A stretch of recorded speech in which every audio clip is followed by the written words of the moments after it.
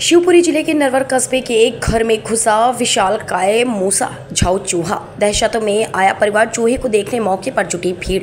शिवपुरी ज़िले के नरवर कस्बे के नए ताल पर ठाकुर साहब के कमरे में एक पहाड़ी जानवर घुस गया, जिससे पूरे घर में अफरा तफरी मच गई। जानवर होने की सूचना तुरंत नरवर के मशहूर सर्प मित्र पठान को दी गई। पठान तुरंत ताल पर पहुँचे और देखा कि एक पथरीली इलाकों में रहने वाला जा मूझा, झाऊ चूहा का कांटे वाला उनके घर में बैठा था। पठान ने तुरंत कांटे वाले चूहे को पकड़ा और वहाँ खड़े लोगों को उस अजीब गरीब जानवर की जानकारी दी। जानवर की बनावट बिल्कुल कांटों से भरी हुई है। वह जानवर के पास जाते तो वह तुरंत गेंद के आकार ले रहा है और पूरे शरीर में खतरनाक कांटे लगे हुए हैं। पठान ने उस चूहे को पकड़कर अपने अंटर में लिया। इस चूहे का नाम है मूसा छऊ चूहा है, जो कि ज़्यादातर पथरीले इलाकों में रहता है। पठान ने बताया कि गर्मी के कारण और पानी की तलाश में यह अद्भुत चूहा बस्ती में घुसाया पठान ने चूहे को पकड़कर सुरक्षित वन क्षेत्र में छोड़ दिया।